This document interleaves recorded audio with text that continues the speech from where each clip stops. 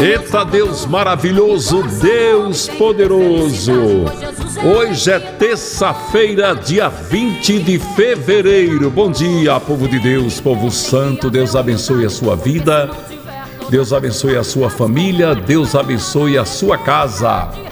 Bom dia, Pai do Senhor, minha preta. Bom dia, meu amor. Bom dia, povo de Deus. Bom dia, família Pão da Vida. Hoje é terça-feira. Hoje é, É dia dia, de- de... fonte dos que clamam. Eita glória. Você quer clamar? Clame a esse Todo-Poderoso. Tenha um bom dia abençoado. Começando agora, né? Com, bo- com a nossa oração. Com Bom Dia, Jesus.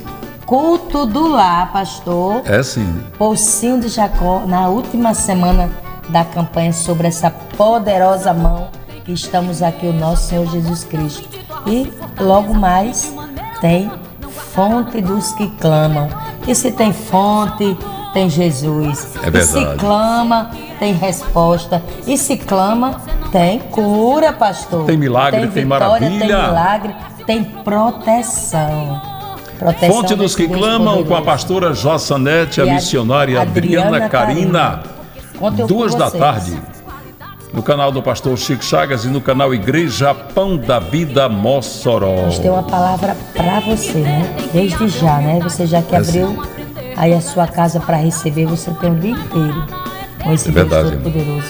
Bom dia, né? Bom dia, meu amor. Tá Bom feliz? dia. Muito feliz. Eu sou feliz, sou muito alegre. É, Quem tem porque- Jesus é sempre Exatamente. feliz. Quem tem Jesus tem tudo. Quem não E tem, você não tem sabe nada. que a felicidade ela passa pela pela aproximação de Deus, quando nós nos aproximamos Deus, de Deus e passa pela santificação. Verdade. A palavra de Deus diz que ninguém poderá ver a Deus sem se santificar. E é sobre isso que nós vamos falar hoje, amados. É uma luta constante, porque ser santo significa ser separado dos demais. E essa santidade tem que ser todo dia, né? É todo dia. Todos os dias. Então Deus, ele quer que a gente busque ser imitador de Jesus Cristo, deixando que se rompa os laços que nos acorrenta ao pecado, às práticas antigas. Verdade. Veja em 1 Pedro, capítulo 1, versículo 15, o que está escrito. Mas assim como é santo aquele que os chamou, sejam santos vocês também em tudo o que fizerem. Você vê que a palavra está dizendo, amor, que é em tudo. É em tudo, em tudo, em tudo. Olha João 17, 17. Santificai-vos na verdade, e a tua palavra é a verdade. Então pronto. A palavra é a verdade e por isso só pode se santificar aquele que busca a Deus, busca a palavra, busca a verdade. No livro de Levíticos, no capítulo 19, no versículo 2, veja o que Deus falou. Diga o seguinte a toda a comunidade de Israel: Sejam santos, porque eu, o Senhor, o Deus de vocês, sou santo. É. Então logo a gente entende assim, amor, que se nós não somos santos, não buscamos a santidade, mesmo com as nossas imperfeições, Perfeições. a gente não tem como ir morar com Deus. Tem não. Como é que você vai morar com Deus se você não é santo, se ele é santo? Se a morada dele é local de santidade, né? Veja aqui 2 Coríntios capítulo 7, no versículo 1. Amados, visto que temos essas promessas, purifica-nos de tudo que contamina o corpo e o espírito, aperfeiçoando a santidade no temor de Deus. Aperfeiçoando a santidade no temor de Deus.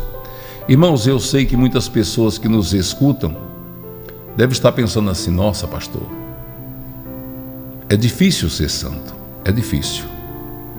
Mas só que o caminho para a santidade é Jesus Cristo. Ele disse: Eu sou o caminho, a verdade e a vida, ninguém vem ao Pai não ser por mim. E não tem como você buscar santidade se não aceitar Jesus Cristo como Senhor da sua vida e não procurar seguir os passos de Jesus. Você sabe qual é o segredo para você permanecer na presença de Deus? É todas as vezes que você errar, arrependa-se, peça perdão e diga: Senhor, não posso viver sem o Senhor. Não posso viver sem teu Santo Espírito, como fez Davi no Salmo 51. Porque errar nós vamos errar mesmo. Nós somos falhos, em nós está a herança adâmica. Então, vez ou outra a gente vai errar. Nós não vamos cometer aqueles pecados escandalosos, mas vamos ter as nossas falhas. E o segredo está em buscar a Deus. Buscar se consagrar, Senhor, eu quero Aleluia. me consagrar ao Senhor, eu quero colocar minha vida no teu altar. Eu quero te servir em santidade. Veja Levíticos 11, 44. Pois eu sou o Senhor, o Deus de vocês. Consagrem-se e sejam santos, porque eu sou santo. Não se tornem puros com qualquer animal que se move. Rente ao Rente chão. Ao chão. A palavra de Deus estava dizendo que nós não devemos buscar o pecado. Você sabe que as, as, as bandejas de Satanás estão tá aí. Nós tivemos agora recentemente a festa de carnaval, que, meu Deus do céu, foi uma loucura, como todo ano. Mas uma coisa eu percebi nesse carnaval: já não foi como nos anos anteriores. Você sabia disso? O carnaval deste ano, para a glória de Deus, ele não teve a mesma frequência. Uma cantora famosa questionou Deus, teve defeitos no seu trio elétrico, quebrou, teve dificuldades e aprendeu uma grande lição. Era Deus dizendo: Eu sou Deus que tudo faço. Em anos anteriores, teve até uma imagem do diabo que entrou na avenida com as mãos para cima, o diabo se exaltando, enquanto Jesus era açoitado na passarela ali. E o que terminou ali? Aquele, aquele, aquele carro alegórico com a imagem do diabo pegou fogo. Pastor, mas é uma coisa tão simples, você acha que Deus se incomodaria de botar fogo num carro alegórico? Não, ele não se incomodaria, porque nada incomoda Deus. Mas a verdade é que Deus fez para mostrar que Ele é Deus. O inimigo jamais vai triunfar sobre Deus. Nós temos exemplo, amor, de muitos carnavalescos que fizeram carnavais com, com temas terríveis contra Deus e eles já partiram de uma maneira tão trágica, tão sofrida, sofrendo tanto antes de morrer. Pastor, o senhor acredita que foi a mão de Deus? Eu não acredito, não, eu não tenho dúvida nenhuma. Não tenho dúvida nenhuma, porque quem está no controle dessa terra é Deus. É Deus que está aqui controlando tudo. O poder de Deus está em todas as coisas Aleluia. e Deus não perde o controle de nada. Ele Olha aqui, Êxodo 15, 11, amor, leia aí. Quem entre os deuses é semelhante a ti, Senhor? Quem é semelhante a ti, majestoso em santidade, Aleluia. terrível em feitos glorioso, autor das maravilhas? Não tem. Quem é igual ao Senhor, meu Deus? Quem? Ninguém, ninguém. Nem, ninguém é. Uhum. Né? A palavra de Deus vai mandar nós nos esforçarmos para termos uma vida de paz. Agora me diga, tem alguém que tem uma vida de paz no meio do pecado? Tem. Não tem, amor. Você só tem uma vida de paz se estiver caminhando com Deus. É verdade. Veja Hebreus capítulo 12, versículo 14. Esforce-se para viver em paz com todos e para serem santos. Sem santidade ninguém verá o Senhor. Sem santidade ninguém é. verá Deus. 1 Tessalonicenses capítulo 4, versículo 7. Porque Deus não nos chamou para a impureza, mas para a santidade. É por isso que hoje, nos dias atuais, muita gente anda dizendo que isso ou aquilo, Deus não liga para isso, não, isso é coisa besta. Besta.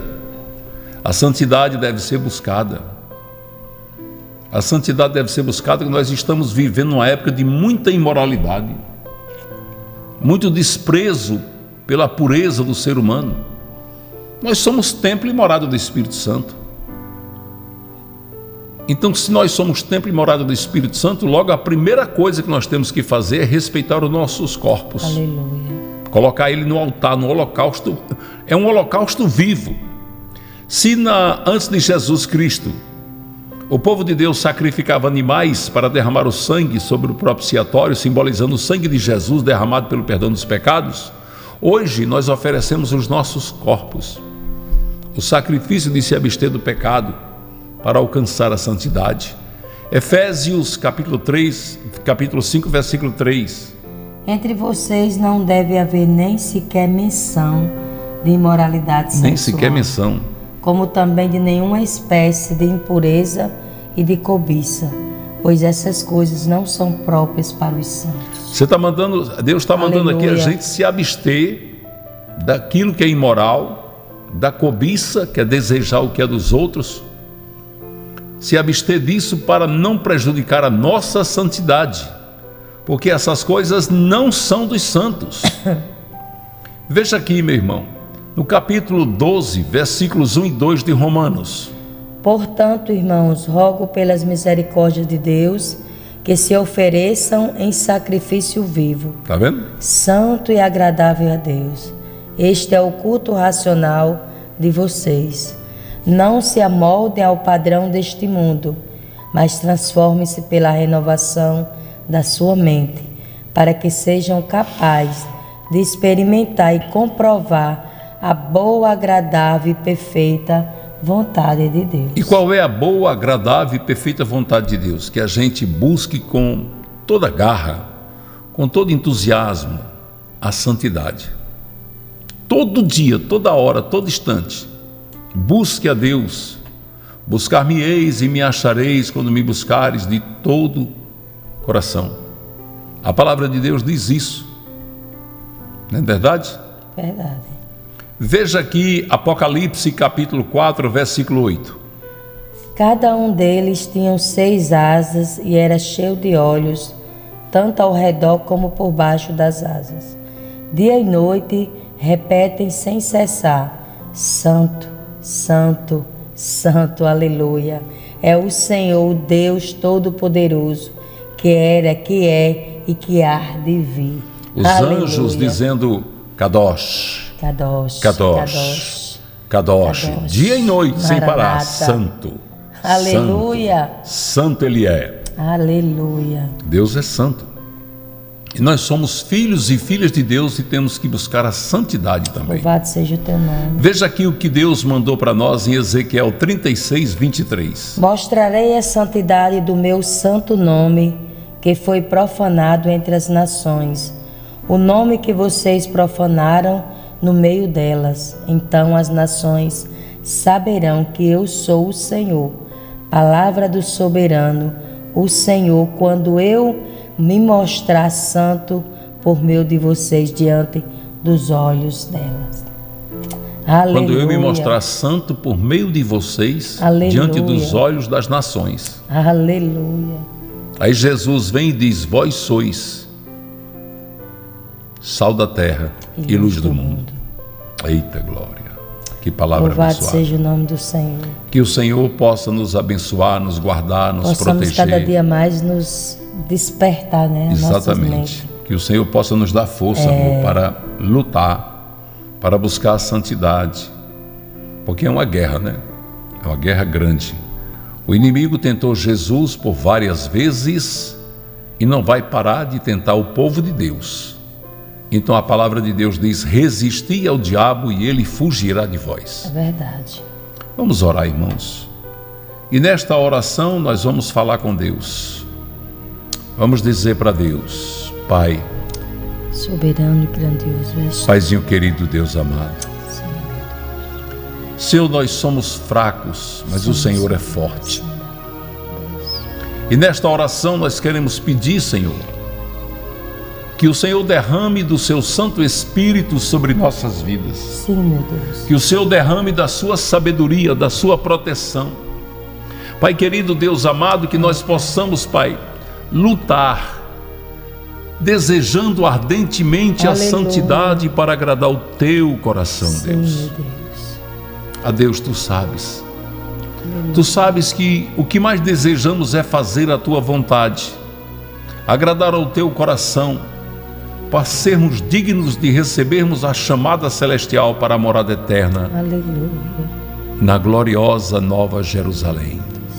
Deus olha para nós com misericórdia Sim, Deus. e derrama sobre nós da tua sabedoria e Sim, nos ensina a resistir, Senhor, faz a assim. todas as tentações. Nos ensina, Paizinho querido, a viver as tuas promessas, a faz tua assim, palavra, Deus. Estende, Pai, a tua mão santa, soberana, poderosa sobre as nossas vidas E nos dê, Deus, o direito, Deus, de buscar sempre a Sua face adorada. Aleluia. Com a esperança de, como está escrito em 1 Coríntios 13, um dia nos vermos e ver que valeu a pena, Deus, esse encontro Aleluia. que teremos com o Senhor. Ah, Pai, obrigado. Obrigado porque o Senhor nos ajuda a resistir ao pecado. Obrigado, Pai, porque o Senhor nos ajuda a nos mantermos, Senhor, na caminhada que o Senhor traçou para nós. Obrigado, Pai. Pai, tem compaixão, tem misericórdia daqueles que se afastaram, daqueles que estão caminhando fora da tua presença.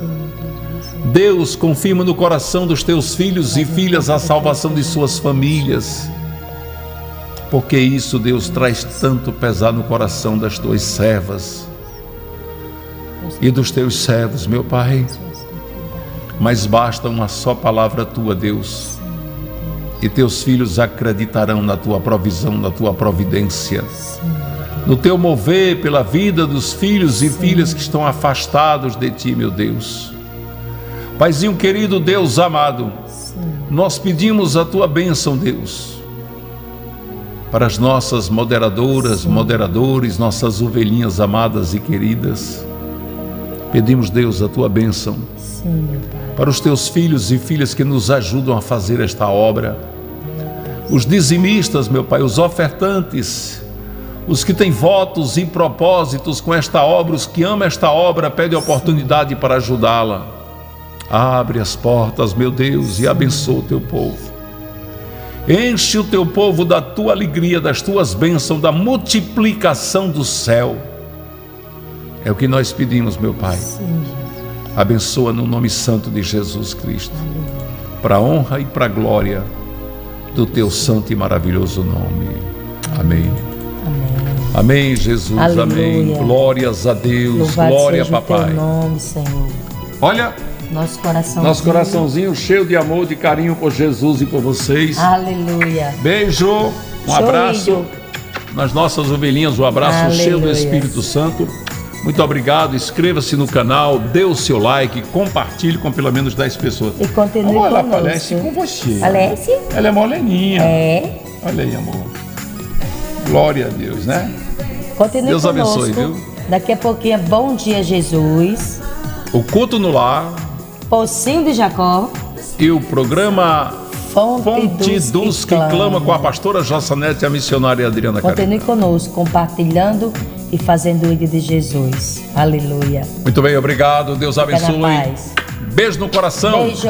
E a campanha Continua. debaixo da poderosa mão de Deus é Última só esta semana. semana. É. Termina sexta-feira com ato profético e você não pode ficar de fora. Venha participar do Pocinho de Jacó. Você que está à distância, acompanhe pelo canal Igreja Pão, da, Pão da Vida, Vida. Mossoró.